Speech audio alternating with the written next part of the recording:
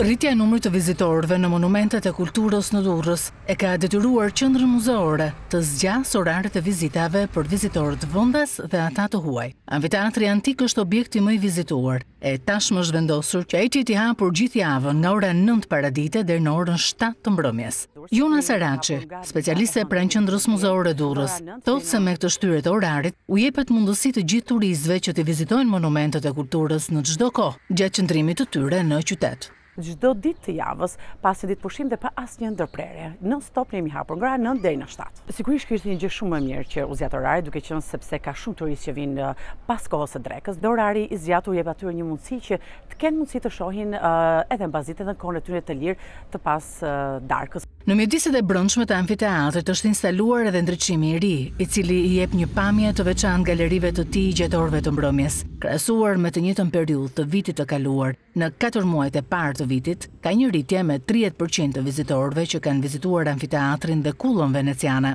Shifrat e tyre pritet të rritë ndjeshëm gjatë muajve në vijim, duke e patu për asysh se qërëshori, koriku dhe gushti janë muajt që përkojnë me fluksin më të malë të turistve në vëndin tonë.